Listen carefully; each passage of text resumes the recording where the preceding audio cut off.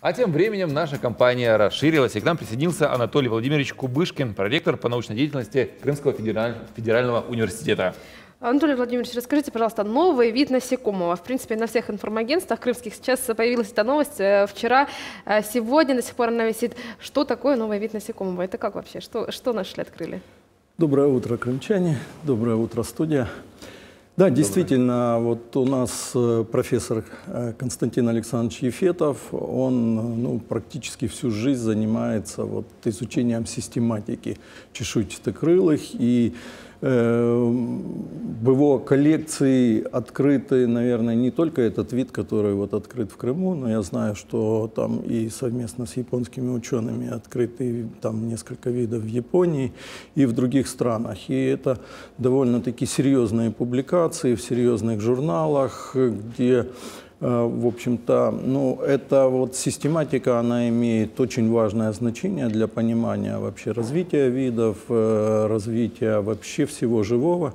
И поэтому, ну, в общем-то, вот это интересное, конечно, и такое большое достижение. И этот вид назван вот как раз его именем или фамилией, да, Ефетов. Негатинтия Ефетова, как-то да, так, да? Да, да. Вот, а могли бы рассказать, что под, ну, подробнее, что представляет из себя это насекомое? Как я понял, это что-то типа пчелы или что это? Нет, это бабочка, я так бабочка. понимаю. А выглядит... Хотя, насколько я знаю, тоже. Ага. Я ж э, как бы не глубоко занимаюсь всеми проблемами. Но, но на что она похожа, глубоко. в принципе, я имею в виду. То есть вот человек увидел, он думает, что это такое? Ну, ну это чешуйчатокрылое. Ага. есть, ну, это вот где-то там какой-то из подвидов или видов бабочек Какие вообще у нас есть проекты для поддержки вот, как раз-таки научной деятельности среди студентов?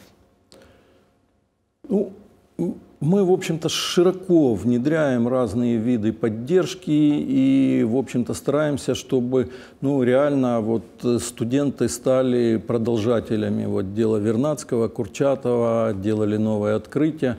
Во всяком случае, вот последние несколько лет, пока, была, пока есть программа развития в Крымском федеральном университете, мы внедрили так называемую систему внутренних грантов для молодых исследователей.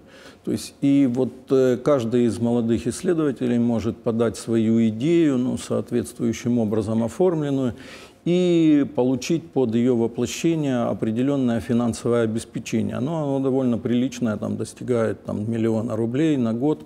И в рамках этих исследований, в общем-то, в рамках этой работы провести исследования. Ну вот как вы сказали, что можно зарабатывать деньги путем воровства золотого унитаза, да, можно зарабатывать деньги путем, э, ну, своим умом, да, и достигая что-то новое, развивая, получая новые результаты, которые можно внедрять.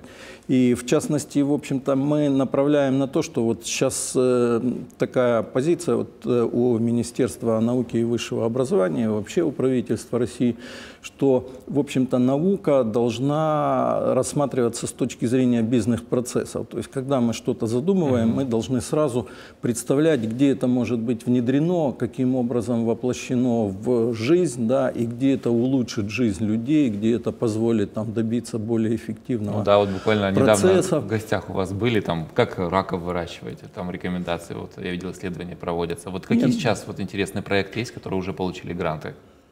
Ну, реально у нас много проектов. Ну, вот если говорить, что э, у нас развивается, у нас в основном развиваются вот ну, такие направления, которые типичны для Крыма. Это агронаправление, это медико-биологическое направление, это реабилитационное направление.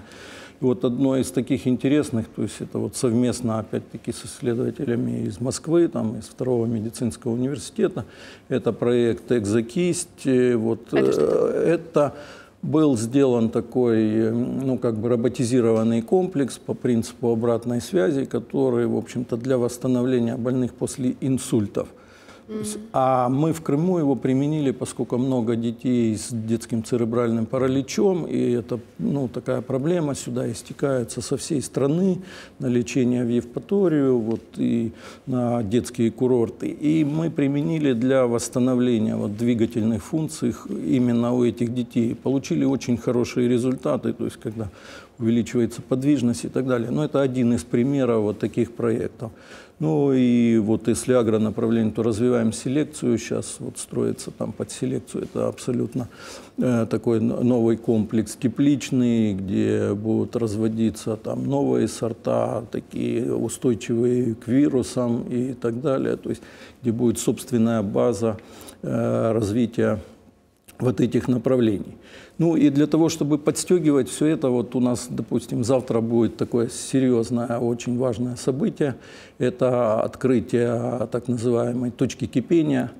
Это проект тоже Министерства образования и науки и Агентства стратегических инициатив, где, в общем-то, предложено создать такие, как бы, ну, если коротко, дискуссионные площадки для молодежи, для студентов, выпускников, которые бы могли встречаться – обсуждать новые проекты, обсуждать новые идеи, находить подходы к их решению и в дальнейшем заниматься вот воплощением в жизнь. Самых и, в общем-то, ну вот завтра у нас там с 10 утра начинается это мероприятие, займет весь день там, и вот будет как раз, наверное, интересная дискуссия. Спасибо вам большое. Мы благодарим, что вы пришли к нам в гости. В гостях у нас был Анатолий Кубышкин, проректор по научной деятельности Крымского федерального университета имени Вернадского.